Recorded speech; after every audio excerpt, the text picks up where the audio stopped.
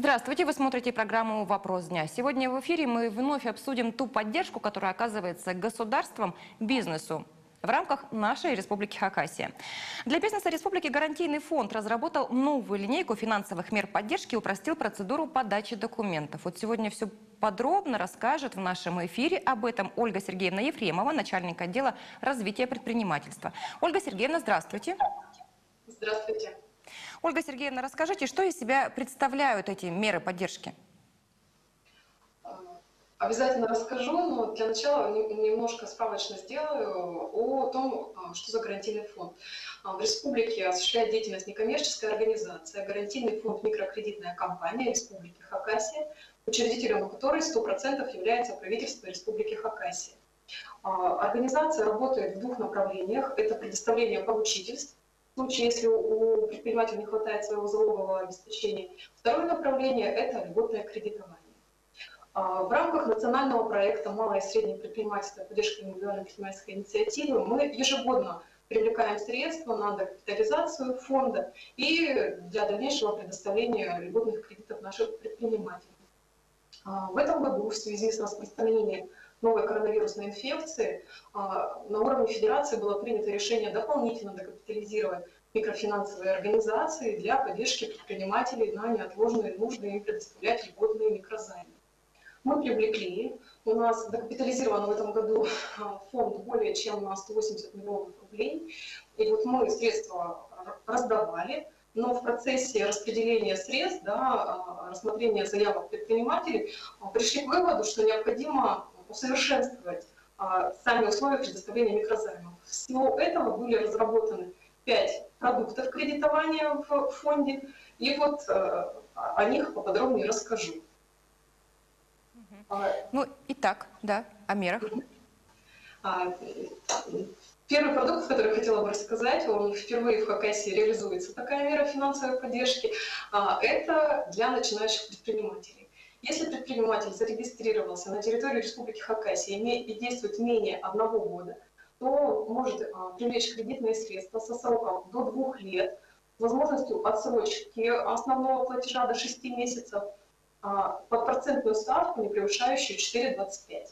А процентная ставка 4,25 – это максимум сейчас по всем кредитным средствам фонда. Она 4,25 – это ключевая ставка Банка России на текущую дату. Если на этапе заключения договора микрозайма увеличится процент, ну, ключевая ставка э, Центробанка, то, соответственно, процентная ставка по договору микрозайма тоже будет увеличена. Ну, так вот, начинающие могут а, без залога привлечь средства от 150 до 500 тысяч рублей под 4,25% и от 501 тысячи до 1 миллиона рублей а, при наличии залога. А если начинающий предприниматель зарегистрировался на территории МОНа, профильного населенного пункта, их у нас в Республике Хакасия 6, это а, Абаза, Сор, Сейногорск, а, Черногорск, вершина Тёи и Туим то для этих предпринимателей процентная ставка на сейчас 2,125 суток. То есть можно сказать, что это ну, практически рассрочка для предпринимателей. Это легкий старт продукт для начинающих. А, разработан еще один продукт, называется беззалоговый. Это для начинающих предпринимателей. А, для, для, извините, для действующих предпринимателей а, срок предоставления до 18 месяцев – возможностью отсрочки до 6 месяцев, а, процентная ставка 4,25 на сейчас и размер от 150 тысяч до 300 тысяч рублей. То есть если на неотложные нужды вам необходимо средства взять, то в фонде, пожалуйста, без залога, а срок рассмотрения уточню по каждой заявке один рабочий день, то есть оперативно можно получить а, заемные средства вот такой выгодной процентной ставки. Еще один продукт, лояльный, его назвали, также для действующих предпринимателей Республики Хакасия срок у него до двух лет. Отсрочка по основному долгу возможно также до 6 месяцев. А, и а, размер у него от 301 тысячи до 700 тысяч рублей. И интересно в чем? Если а, первых три месяца предприниматель, процентная ставка ему применяется всего 1%. Далее процентная ставка будет 4,25%. Ну, Сумма от 300 до 700. Еще один а, кредитный продукт – это развитие. Называется развитие. Здесь несколько направлений, которые можно а, поддерживать. Если предприниматель осуществляет деятельность в сфере обрабатывающего производства, и на момент подачи заявки фонд он гарантирует, что увеличит на 10% среднесписочную численность работников и фонд оплаты труда, то он может привлечь от 700 тысяч до 3 миллионов рублей а, под 1% всего. Если он не обещает увеличить на 10%, а просто сохранит уровень а, работников, ну, среднесписочной численности и фото на уровне, какой есть на момент подачи заявки, то для него процентная ставка 3. Кроме того, а, по пожеланиям предпринимателей выделена приоритетная сфера также поддержки вот в данном продукте развития. Это сфера туризма и сфера сельского хозяйства. Для них также процентная ставка а, не более 3% а, годовых. А, по продукту развития, кстати, не уточнила, срок кредитования до двух лет. Также возможна отсрочка по основному долгу до 6 месяцев. И также необходимо отметить в этом направлении монопрофильные населенные пункты. Если предприниматель зарегистрирован в МОНО, и а, является, например, резидентом промышленного парка Черноморский. Или если это а, женщина-предприниматель, если предприниматель старше 45 лет, или предприниматели реализуют проекты в сфере экологии, спорта, туризма, то для них на сейчас процентная ставка 2,125. А, это вот четыре таких разных направления, разные продуктовые линейки. Также Впервые в Хакасии фонд в этом году реализует продукт рефинансирования. Если у предпринимателя ранее, у предпринимателя, именно обращу внимание, не у физического лица, взят а, кредит в коммерческом банке, и он им пользуется более трех месяцев, то возможно рефинансировать данный кредит а, в фонде. Также по процентную ставку 4,25 на сегодняшний день. Очень хорошие условия для бизнеса республики, для предпринимателей. Подскажите, пожалуйста, а чем-то они вот разительно отличаются от тех кредитных продуктов, которые предоставлялись фондом ранее? А, ранее не была выделена в отдельную категорию начинающие предприниматели. Мы не выделяли сферу туризма, сельского хозяйства для того, чтобы а, поддержать их. Ну вот столь хорошие условия для бизнеса. А есть какая-то статистика? Пользуются такими льготными кредитами? Ну вот а, в 2020 году мы кредитовать начали активно с апреля. У нас на сегодняшний день а, порядка 60 микрозаймов предоставлено. В работе еще, конечно, заявки у фонда.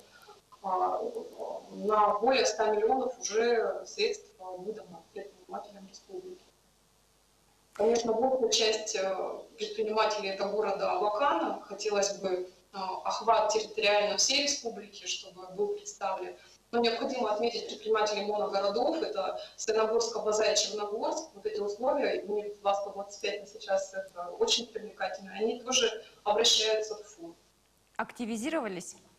Активизировались, да. Потому что я помню еще буквально вот год и два назад, несмотря на то, что для них были предоставлены тоже льготные условия, они не очень активно отвечали на них. Ну, проводится работа, конечно, и фондом самим, и администрациями монопрофильных населенных пунктов. Спасибо а, администрациям за то, что тоже работают со своим бизнесом, рассказывают, помогают. А, совместная работа выстроена, взаимодействие налажено, а, ну соответственно, есть результат. А, сейчас э, туризм на переднем плане в республике. Мы очень много говорим и о поддержке этой сфере. И давайте еще раз расскажем, вот, что вы э, предлагаете, что предлагает гарантийный фонд для предпринимателей, которые работают именно в этом направлении. Ну, из сферы туризма могут обратиться за любым продуктом. Но если действующий предприниматель, его интересуют более существенные суммы, да, то это продукт развития от 700 тысяч до 3 миллионов рублей. А, с процентной ставкой не более 3%, а срок кредитования до двух лет, возможно отсрочка по основному долгу до 6 месяцев. Еще, а, Наталья, знаете, уточню один момент, что ранее тоже такого не было, когда фонд предоставляет кредит, он смотрит группу связанных заемщиков, чтобы у нас максимум 3 миллиона, и если там дали ООО учредителям, и следующая заявка этого же ООО учредителя одинаковый, то по второй заявке был отказ. А сейчас, если связанные заемщики, а, группа связанных заемщиков, то максимум на них повыше можно предоставить 5 миллионов рублей, А, что тоже у нас у предпринимателей пользуется спросом. Ольга Сергеевна, республика помогает предпринимателям не только финансово. Расскажите, какие еще меры поддержки сегодня работают, насколько они востребованы? Ну, я уже говорила, что у фонда направление не только кредитование, но и поручительство. Поручительство тоже реализуется, предприниматель за данной мерой поддержки обращается. Потому что есть льготное кредитование не только в фонде, но и в коммерческих банках. А про- программа 8,5 федеральная пока себе реализуется, и фонд активно выступает поручительством по данной программе. А, Кроме того прочего, мы завершили этап а, поддержки социальных предпринимателей в моногородах. 36 предпринимателей у нас получили гранты до полутора миллионов рублей. А, Это все уже мы его завершили. А, И Центр «Мой бизнес» продолжает реализовывать свои мероприятия по направлению как экспорт, так и а, Центр поддержки предпринимательства – это консультирование, это содействие сертификации, содействие популяризации бизнеса.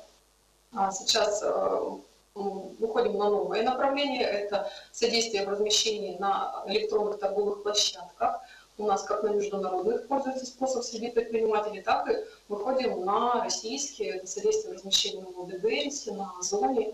Ольга Сергеевна, расскажите, пожалуйста, нашим телезрителям, на какие цели могут быть предоставлены микрозаймы по таким льготным условиям, которые вы только что перечислили? А, Цели на самом деле определены законодательно. А, Три основные – это вложение во внеоборотные активы, это пополнение оборотных средств и оплата первого взноса при лизинге оборудования. А, э, Микрозайм нельзя тратить на оплату заработной платы, на оплату налогов, на оплату задолженности по налоги, пени, штрафы и тому подобное. Микрозайм могут получить субъекты малого и среднего предпринимательства, относящиеся к ним в соответствии с 39 федеральным законом о развитии малого и среднего предпринимательства в Российской Федерации. И для того, чтобы понять предпринимателю, э, относится ли он, а предприниматель, во-первых, должен быть включен в единый реестр субъектов МСП, и, соответственно, если он туда включен, то он и соответствует 209 федеральному закону. Поэтому, прежде чем обращаться за консультацией в фонд, а, можно просто в Яндексе написать единый реестр МСП, ввести туда ИНН и посмотреть, есть ли предприниматель, находится ли там предприниматель или нет.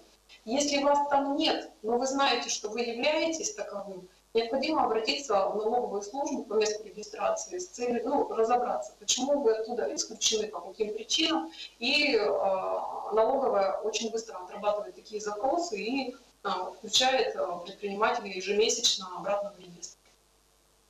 Соответственно, если вас нет в реестре, но сейчас услугу э, по предоставлению микрозайма, поручительства вы в фонде получить не сможете.